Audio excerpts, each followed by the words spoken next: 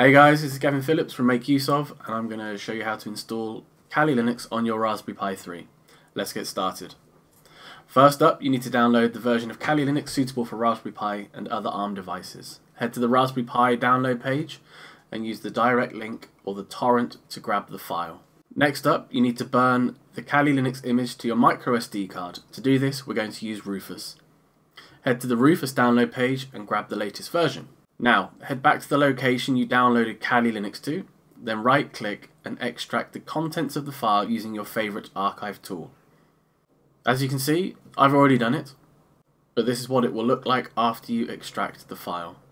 Now, to burn the file, in the Start menu search bar type Rufus and select the tool. Under Device, select your microSD card, then under Boot selection hit Select, then browse to the place you downloaded the Kali Linux image.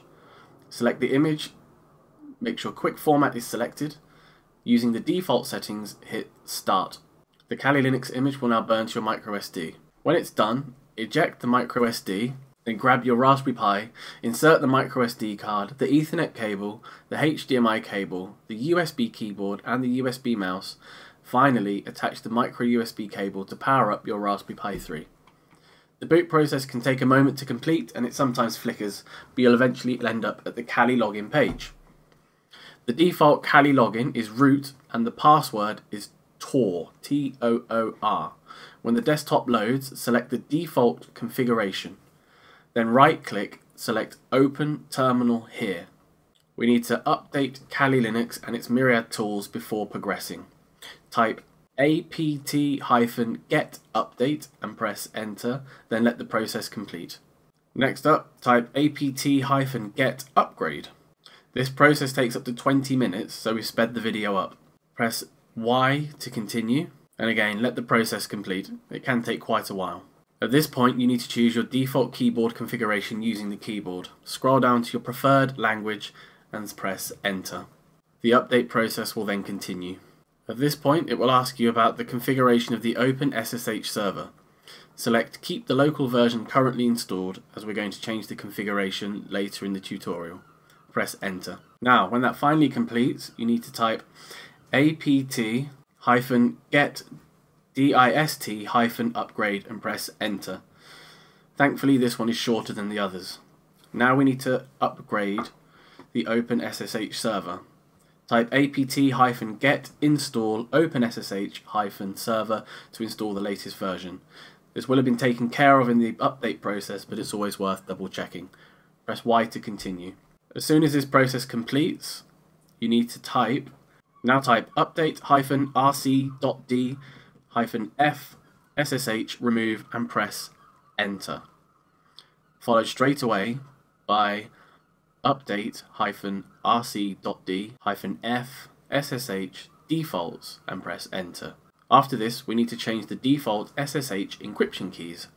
Type cd forward slash etc forward slash ssh forward slash, press enter, followed by mkdir old keys, press enter, followed by mv ssh underscore host asterisk old keys, followed by dpkg hyphen reconfigure open ssh hyphen server. This process creates a new folder for your old SSH keys to back them up, moves the old keys into that folder, and then reconfigures new encryption keys to secure your open SSH connection. Now when this completes, we can edit the OpenSSH configuration file using the following command. nano forward slash etc forward slash ssh forward slash sshd underscore config. Find the permit root login line and change the response to yes. Press Ctrl O to save and Ctrl X to exit.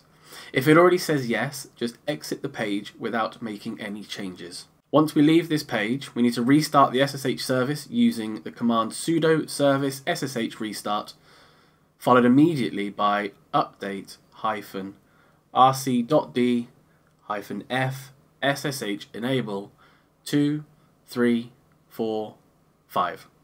Now we can check to see if the service is running by typing sudo service ssh status. And you can see that mine is up and running. Now on to changing the message of the day. The message of the day is what appears when you connect using SSH. Type nano forward slash etc forward slash motd and press enter. You can see the default message here. And you can delete the entire default message and add something of your own. I always add something basic, but you can get as creative as you want. When you're ready, hit Control O to save, then Control X to exit. Now, use the ifconfig command to find out the IP address of your Kali Raspberry Pi. Copy the IP address down because you're going to need it in a moment. If it doesn't work, check your NetTools by typing sudo apt-get install net-tools, then run the ifconfig command again. Now, let's log in via OpenSSH on Windows 10. First, check you've got the Windows 10 OpenSSH client installed by hitting Windows key and I, heading to Apps, then Manage Options Optional Features. Down here, you can see that I have it installed already. But if you don't, you can head up back up to Add a Feature and find OpenSSH and hit Install. Afterwards, hit the Windows key and X, select Command Prompt Admin to open an elevated command prompt. Now, type SSH root at your IP address. The IP address is the one you copied earlier. Once you've done that, you need to enter your password, which if you haven't changed from the default is still TOOR, T-O-O-R. You can sit back and bask in the glory of your message of the day. Okay guys, if you found the video useful, please hit like. Don't forget to subscribe to the Make Use of channel for more tips, tricks and giveaways. Thank you for watching.